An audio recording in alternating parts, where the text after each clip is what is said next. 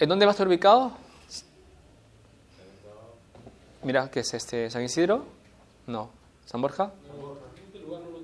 Ya. Imaginemos San Borja, ¿correcto? Entonces, yo vivo en San Borja. Entonces, yo no voy a buscar Master Clean porque yo no conozco Master Clean. ¿Qué busco yo? Tal car wash, posiblemente. Lavado de autos. O car wash también puede ser San Borja. Esto es lo que hago yo. ¿No es cierto? O car wash también. Y busco y salen estas páginas de acá.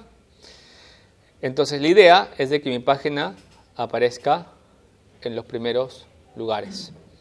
¿Cómo hacemos esto? Google te dice tienes que hacer SEO. ¿Qué significa SEO? Número uno, cuando creas una página, tu página tiene que tener una buena cantidad de subpáginas. ¿A qué me refiero con esto? ¿Qué son subpáginas? Servicios. Servicio 1, servicio 2, servicio 3, servicio 4, servicio 5. No, tipos de lavados, lavado 1, lavado 2, lavado 3. Cuanto más subpáginas tenga, mejor. ¿Por qué? Porque lo que hace Google es va a buscar en tu página las palabras que más se repiten. En este caso tenemos que poner todas las palabras llamadas lavado de autos, lavado en seco, car wash, lavado con champú, lavado sin champú, lavado con agüita. Todas las, todas las cosas que tú, que tú todos los todos servicios que tú ofrezcas los tienes que poner en la página. ¿Correcto? Pero en diferentes subpáginas. Número uno. Entonces Google interpreta automáticamente que esa página se refiere al lavado de autos. Primera condición.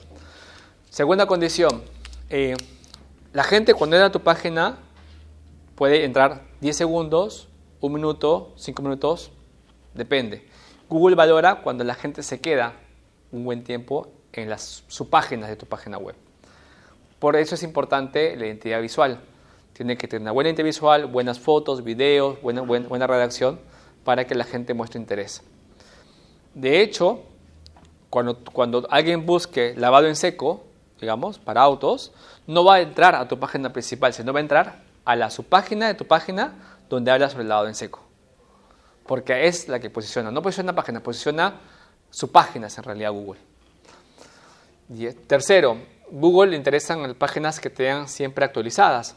Entonces, dos veces por semana tienes que poner novedades, promociones, este, nuevos servicios, cualquier cosa que genere que la página sea cada vez este, más activa. Esas tres condiciones hacen que tu página empiece a posicionarse. Cuarto, Google le gusta de que páginas más importantes redireccionen a tu página, que es supuestamente más pequeña. ¿Qué páginas son más importantes? Facebook, por ejemplo. Hacer un fanpage es importante porque del fanpage de Facebook manda a la página tuya. Y como Facebook tiene un ranking más alto que la tuya, Google la valora. YouTube también. Si de, YouTube mandan a tu página web, también genera posicionamiento. Puedes poner fotos en Picasa, en Pinterest, en Flirk, en, en, redes sociales y eso hace que Google lo considere una página importante. Esas cuatro condiciones hacen de que tu página eventualmente en el tiempo empiece a escalar posiciones. Pero no es tan rápido, por si acaso, se demora usualmente entre 3 y 6 meses llegar a, tener posicionamiento. Eh, lo cual está bien, porque después que esté posicionado, tengo, tengo clientes, entre comillas, gratis, porque la publicidad es, gratuita. ¿no? O sea, digamos, el, el costo de publicidad. Pero yo recomiendo de que los primeros meses ustedes inviertan publicidad. ¿Cómo? Eh, pueden entrar a Facebook y en Facebook pueden poner eh, en opciones pueden poner, eh, perdón, vamos a buscar acá, pueden poner crear anuncios, ya está aquí, yo tengo varios anuncios acá, y ustedes pueden hacer campañas, en este caso para que, ¿cuál es tu, público objetivo? Obviamente son hombres o mujeres, hombres, ¿entre qué edades? 30, 30, 50, ¿no? Entonces, creas una campaña publicitaria acá para hombres de 30 y 50 años que viven en Lima. Y, Facebook te cobra por clic. Usualmente en promedio te cobra entre 0.05 céntimos y 0.10 céntimos de dólar por clic.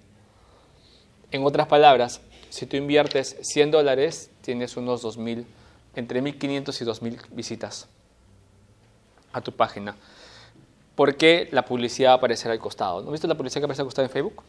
Ya lo mismo, ¿no? Entonces, eh, son este, clientes, digamos, este, que les ha gustado la publicidad y han hecho clic. ¿Cuánto te cobra? Entre 0,5 céntimos de dólar y 10 céntimos de dólar.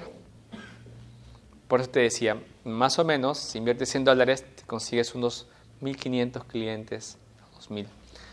Pero clientes, no cualquiera, sino clientes que han estado interesados en la publicidad porque le han hecho clic. Eh, y, para colmo, cuando lleguen a tu página, tú debes mandarlos directamente cerca al, formulario para que también se inscriban con una promoción de 30% de descuento de la primera compra y los enganchas.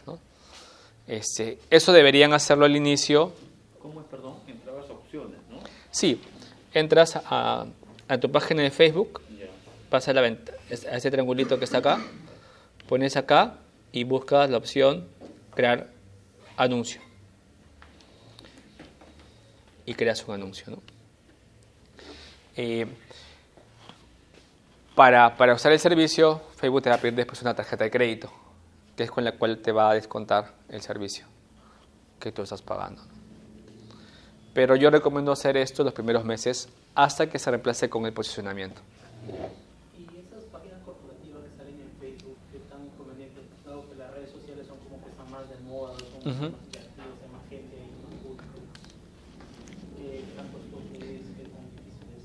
Eh, no, es, gratu- es gratuito, ¿no? Entras a, entras a Facebook, entras a Facebook, eh, vas por aquí, eh, voy a hacerlo acá, estamos en Facebook, ¿no es cierto?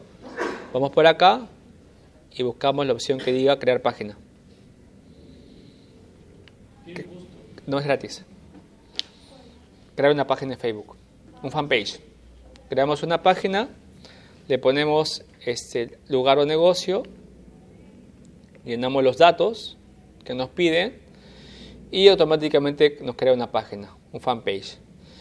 Eh, luego tenemos que invitar a nuestros amigos al inicio para llegar a 30. Cuando llegamos a 30, Facebook me permite en ese momento ponerle un nombre a mi fanpage. En este caso, por ejemplo, es facebook.com slash mi empresa propia. Eh, eh, no, no se puede cambiar. Solo si llegas a 30. Claro, lo que pasa es que te pide un mínimo para que para poderle un- ponerle un nombre acá. Pero llamas a todo el mundo, oye, haz clic a mi página, no seas mal. Pero Y lo- creo que hay, unos, hay una publicidad en Facebook que te permite destacar esa página. Claro, por eso. Pero primero hacemos la página, digamos, ¿no? Entonces, con la página pones promociones, este, mandas a tus amigos, tus amigos mandan a conocidos. Y la página, la página de Facebook no es una página para vender, es una página para hacerte conocido. Porque la página de Facebook tiene que estar asociada a dónde? A una página real, a tu página web, en este caso. Y ahí es donde haces la venta. Entonces, si tú quieres promocionar tu página, si te imagínate que no tienes página web, tienes una, solamente una página de Facebook, en ese caso, creas un anuncio, creas un anuncio, pero que el anuncio, en vez de que dirija a la gente a tu página web que no existe, va a dirigir en a dónde? Va a dirigir a tu página en Facebook. Pero este, lo cual no es malo, ¿no? Lo que haces ahí es incrementas fan- este, fans, pero este, de ahí tendrías que hacer que los fans entren a tu página web y se conviertan en clientes.